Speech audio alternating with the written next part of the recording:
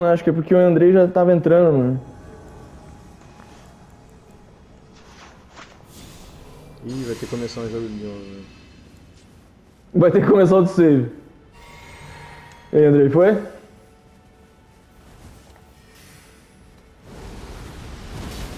Hum. Nossa senhora! Uhul! Peraí, peraí.